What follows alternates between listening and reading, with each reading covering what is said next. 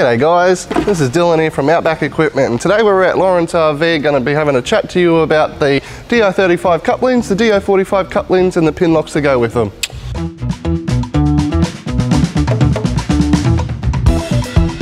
Alrighty folks, so here we've got a DO35. Now there's two main models with the DO35s, there's an R model and an I model. This model here is the I model. Now the core difference uh, of the R model is it has a separate handbrake, so it doesn't come supplied with a handbrake, allowing you to attach the handbrake further back on the A-frame.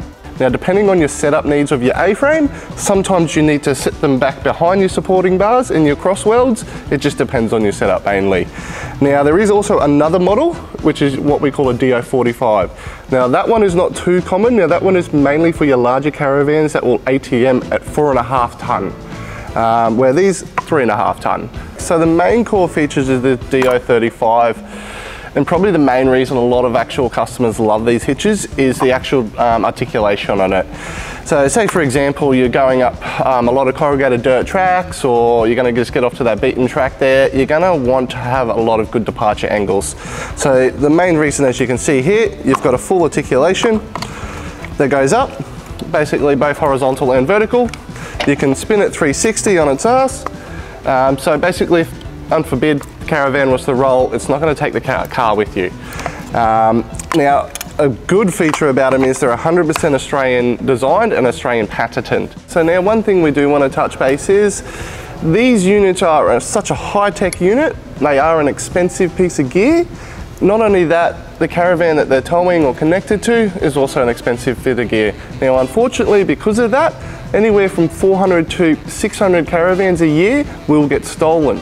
Now, one way to fight that and against that and basically deter the thieves is with a Cruisemaster DO35 45 pin lock. These pin locks have been specifically designed to suit these hitches. Nice and easy um, setup. All you have to do is drop your pin through the coupling. I personally like to push this unit back here, nice and up so I can see what I'm doing. So once you have your actual pin lock within the hitch itself, just a matter of grabbing your offside hitch, shove it in, turn your key and lock it. I always suggest putting your dust cap on because that will keep a lot of the dust out or your wops out, keep it nice and free from debris. And once it's in, you're nice and locked and nice and secure. No one's going to be able to come up, hook up onto the van and take your van.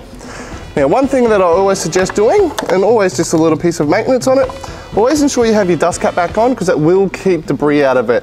Now if you do get debris in it, what I suggest is spraying it with some silicone spray, some WD-40 because that will keep the dust and debris out of it.